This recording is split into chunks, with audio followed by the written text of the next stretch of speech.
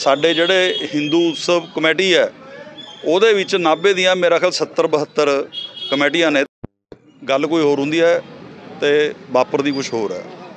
ਹੁਣ ਨਾਭੇ ਹਿੰਦੂ ਸਮਾਜ ਵਾਸਤੇ ਐਡਾ ਬੜਾ ਮਸਲਾ ਸੀ, ਦੋ ਸਾਡੇ ਧਾਰਮਿਕ ਫੰਕਸ਼ਨ ਚੱਲ ਰਹੇ ਸੀਗੇ। ਸਾਡੇ ਦੇਵੀ ਦੇਵਤਾਵਾਂ ਨੇ ਜਿਨ੍ਹਾਂ ਦੀਆਂ ਅਸੀਂ ਫੋਟੋਆਂ ਰੱਖ ਕੇ ਦੁਕਾਨਾਂ ਤੇ, ਫੈਕਟਰੀਆਂ 'ਚ ਧੂਫਾਂ ਲਾਉਂਦੇ ਆ ਜਿਨ੍ਹਾਂ ਤੋਂ ਅਸੀਂ ਸਾਰਾ ਕੁਝ ਮੰਗਦੇ ਆ ਉਹਨਾਂ ਦੀਆਂ ਫੋਟੋਆਂ ਗੰਦ ਦੀ ਟਰਾਲੀ 'ਚ ਸਿੱਟ ਕੇ ਉਰੋਂ ਲਾਈਵ ਬੰਦਿਆਂ ਨੇ ਸਾਡਿਆਂ ਨੇ ਫੜੀਆਂ ਨੇ।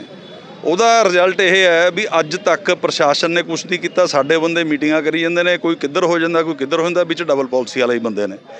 ਮੇਰੀ ਸਭ ਤੋਂ ਪਹਿਲਾਂ ਤਾਂ ਇਹ ਮੰਗ ਹੈ ਸ਼ਹਿਰ ਵਾਸਤੇ ਕਿ ਜਿਹੜੀ ਹਿੰਦੂ ਸਮਿਤੀ ਹੈ, ਕਮੇਟੀ, ਉਹ ਤੁਰੰਤ ਭੰਗ ਹੋਣੀ ਚਾਹੀਦੀ ਹੈ। ਉਹਦਾ ਕੋਈ ਬੰਦਾ ਜਿਹੜਾ ਜ਼ਿੰਮੇਵਾਰ ਨੇ, ਜਿਨ੍ਹਾਂ ਨੇ ਰਾਤ ਸਮਝੌਤੇ ਕਰ ਲਏ ਅੰਦਰ ਵੜ ਕੇ, ਤੇ ਸਾਰੇ ਹਿੰਦੂ ਸਮਾਜ ਨੂੰ ਠੇਸ ਪਹੁੰਚਾਈ ਹੈ, ਉਹਨਾਂ ਦਾ ਕੋਈ ਹੱਕ ਨਹੀਂ ਬਣਦਾ ਉਰੇ ਉਸ ਕੁਰਸੀਆਂ ਤੇ ਬੈਠਣ ਦਾ।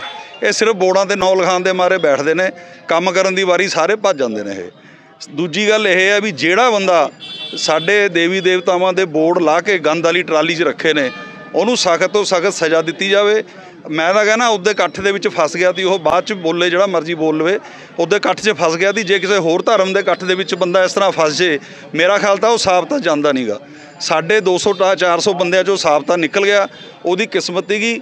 ਅੱਜ ਤੋਂ ਬਾਅਦ ਅਸੀਂ ਬੇਨਤੀ ਕਰਦੇ ਹਾਂ ਕਿ ਸਾਡੇ ਨਾਲ ਕੋਈ ਪੰਗਾ ਨਾ ਲਵੇ। ਜਿਹੜਾ ਪੰਗਾ ਲਊਗਾ ਆਪਣੇ ਨੁਕਸਾਨ ਦਾ ਆਪ ਜ਼ਿੰਮੇਵਾਰ ਹੋਊਗਾ। ਅਤੇ ਮੈਂ ਦੁਬਾਰਾ ਬੇਨਤੀ ਕਰਦਾ ਕਿ ਹਿੰਦੂ ਸੰਮਤੀ ਭੰਗ ਹੋਣੀ ਚਾਹੀਦੀ ਹੈ ਤੁਰੰਤ। ਨਵੀਂ ਸੰਮਤੀ ਬਣਨੀ ਚਾਹੀਦੀ ਹੈ ਕਿਸੇ ਗੱਟਸ ਵਾਲੇ ਬੰਦੇ ਨੂੰ ਬਣਾਉਣਾ ਚਾਹੀਦਾ ਜਿਹੜਾ ਸਿਰਫ ਧਰਮ ਨਾਲ ਚੱਲੇ ਨਾ ਕਿ ਪੋਲੀਟੀਕਲ ਬੰਦਿਆਂ ਦੇ ਪੈਰ ਚੱਟੇ। ਸਾਰੇ ਅਹੁਦੇ ਅੱਗੇ ਅਸੀਂ ਕਾਨੂੰਨੀ ਕਾਰਵਾਈ ਕਰਾਵਾਂਗੇ ਪੂਰੀ ਪੰਕਜ ਬੱਪੂ ਦੇ 295 ਦਾ ਪਰਚਾ ਕਰਵਾ ਕੇ ਹਟਾਂਗੇ। ਉਹਦੇ ਲਈ ਚਾਹੇ ਕੋਈ ਮਰਜ਼ੀ ਕਰਨਾ ਪਵੇ ਸਾਨੂੰ। ਮੁੱਖ ਮੰਤਰੀ ਜੀ ਤੋਂ ਇਹ ਮੰਗ ਕਰਦੇ ਆ ਵੀ ਇਹ ਬੰਦਾ ਹੁੰਦਾ ਕੌਣ ਹੈ? ਪਹਿਲੀ ਗੱਲ ਤਾਂ ਜਿਹੜੀ ਸਰਕਾਰੀ ਮਸ਼ੀਨਰੀਆਂ ਦਾ ਦੁਰਪ੍ਰਯੋਗ ਕਰ ਰਿਹਾ, ਸਰੇਆਮ ਕਰ ਰਿਹਾ, ਧੱਕਾ ਕਰ ਰਿਹਾ। ਹਿੰਦੂ ਧਰਮ ਨੂੰ ਤੁਸੀਂ ਧਰਮ ਨਹੀਂ ਸਮਝਦੇ। ਜੇ ਕਿਸੇ ਹੋਰ ਧਰਮ ਦਾ ਹੁੰਦਾ, ਅੱਜ ਅਸੀਂ ਦਾਅਵੇ ਨਾਲ ਕਹਿੰਦੇ ਆ ਚਾਹੇ ਉਹ ਟਰਾਲੀ ਵਾਲਾ ਡਰਾਈਵਰ ਸੀ, ਚਾਹੇ ਜਿਹਦੇ ਹੁਕਮ ਤੇ ਹੋਇਆ, ਉਹ ਭੀੜ ਦੇ ਵਿੱਚੋਂ ਜਿੰਦਾ ਨਹੀਂ ਜਾਂਦਾ ਸੀਗਾ। ਉਹਦੇ ਕੱਪੜੇ ਤੱਕ ਪਾੜ ਦਿੰਦੇ। ਹੁਣ ਸਾਡਾ ਜਿਹੜਾ ਫੈਸਲਾ ਹੈ ਵੀ ਜਿਹੜਾ ਵਪਾਰ ਮੰਡਲ ਕਾਲ ਕਰੀ ਹੈ 8 ਤੋਂ 12 ਦੀ। ਜੇ ਕੋਈ ਨਤੀਜਾ ਨਾ ਨਿਕਲਿਆ ਇਹਨੂੰ ਅਸੀਂ ਵਪਾਰ ਮੰਡਲ ਨੂੰ ਬੇਨਤੀ ਕਰਾਂਗੇ ਵੀ ਇਹ ਕਾਲ ਨੂੰ ਸ਼ਾਮ ਤੱਕ ਲੈ ਕੇ ਦਿੱਤਾ ਜਾਵੇ। ਇਹਨੂੰ ਅਣਮਿੱਥੇ ਸਮੇਂ ਤੱਕ ਅਸੀਂ ਲੈ ਕੇ ਜਾਵਾਂਗੇ ਔਰ ਲੜਾਈ ਲੜਾਂਗੇ। ਸਾਡਾ ਪਹਿਲਾਂ ਵੀ ਕੱਲ ਵੀ ਸਾਰੀਆਂ ਸੰਸਥਾਵਾਂ ਦੀ ਜਿਹੜੀ ਮੀਟਿੰਗ ਸੀ ਅਸੀਂ ਉਹਨਾਂ 'ਚ ਵਪਾਰ ਮੰਡਲ ਨੂੰ ਰਿਕੁਐਸਟ ਕੀਤੀ ਗਈ ਵੀ ਇਹ ਕੀਤਾ ਜਾਵੇ। ਅਸੀਂ ਅੱਜ 8 ਤੋਂ 12 ਦੀ ਕਾਲ ਦਿੱਤੀ ਹੈ। ਜਿਵੇਂ ਵੀ ਸਾਰੀਆਂ ਜਥੇਬੰਦੀਆਂ ਸਾਨੂੰ ਕਹਿਣਗੀਆਂ ਅਸੀਂ ਉਹਨਾਂ ਦੇ ਨਾਲ ਹਾਂ। ਜਿੰਨਾ ਸਮਾਂ ਉਹ ਜੋ ਵੀ ਫੈਸਲਾ ਉਰੇ ਖੜ ਕੇ ਕਰਨਗੇ ਜਾਂ ਮੀਟਿੰਗਾਂ 'ਚ ਹੋਣਗੀਆਂ, ਵਪਾਰ ਮੰਡਲ ਹਮੇਸ਼ਾ ਸ਼ਹਿਰ ਦੇ ਨਾਲ ਹੈ, ਸ਼ਹਿਰ ਵਾਸੀਆਂ ਦਾ ਵਪਾਰ ਮੰਡਲ ਹੈ, ਕੋਈ ਇੱਕ ਬੰਦੇ ਦਾ ਵਪਾਰ ਮੰਡਲ ਨਹੀਂ।